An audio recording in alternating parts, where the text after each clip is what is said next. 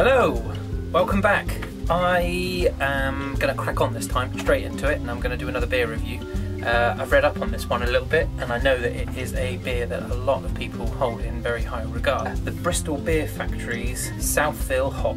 So it's um, it's a cracker by all accounts, and I'm uh, I've never tried it. Really looking forward to getting into it. I purchased it from Waitrose. I think it cost me something like 270 for half a litre of, uh, of finest IPA, so I'm told. Oh, yes, I'm already excited about this one. Okay, this one is pouring out very cloudy. There you are, look at that. What a lovely head too. Really nice, creamy, kind of soapy head. Lovely. Deep gold Right, this is completely different from the last beer review I did, the Buckham uh, Brunel. Vibrant, this is fresh, this is fruity. This is grapefruit and pineapple. Pineapple over anything else in there. That is a beautiful smell. That's the kind of thing you want your air, car air freshener to be like.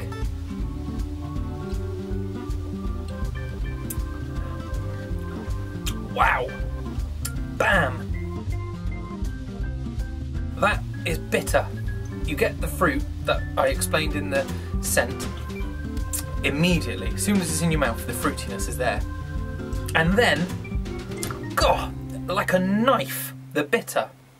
A really, really bitter, yeasty kind of like like lime. That's exactly what it is. So you get the fruit, you get the really nice tropical pineappley, grapefruity taste. And then actually that's what it is. You know when you drink grapefruit juice when you've had a hangover and immediately you get a really nice taste and then bam, you get that bitter of the grapefruit. That's exactly what it's like. Alcoholic, delicious, beery grapefruit juice. I could get quite excited about this beer. I don't think I could have too many of them. I definitely couldn't have too many of them because this one is a 6.5% ABV. Bristol Beer Factory are based in Bristol, obviously, no points for that one. Um, the only other beer that I've had from the Bristol Beer Factory, which I will definitely review again for you guys because I enjoyed it so much, was their Milk Stout. And uh, I mentioned the Milk Stout to my old man and he laughed his head off and said, I can't believe they're still making Milk Stout. So I'm going to find out what the story is behind that, but I assume it was one of those cheaper old drinks. Excuse me, there we are. Better out than in. This is really, really nice. Cheers. Absolutely delicious. Completely different. Couldn't be further away from the um, from the Brunel IPA. I'm doing it again, aren't I? I'm not finishing my sentences before I um, before I start drinking. Next week I'm going to review something not an IPA because some of you out there might not like IPAs. So I thought I might go with a stout or a porter. I tell you what I'm going to do. Yes, I'm going to get a leaderboard there will be a leaderboard here of beers that I've tasted and where I rank them, a kind of top gear, who's the fastest board.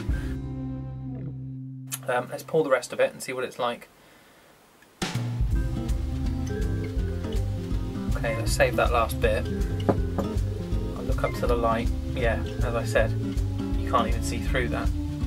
There's a, um, there's a lot at the bottom of that, so little note to the wise, I would leave that because that's very, very sedimenty and uh, all the bitterness that the yeast provides is going to be is going to be there. Thank you very much for watching. Again, keep an eye out for many more. Cheers. Subscribe to the channel. One, like the video. Two, leave a comment. Three. If you could do those three things for me, I'd be very, very much obliged.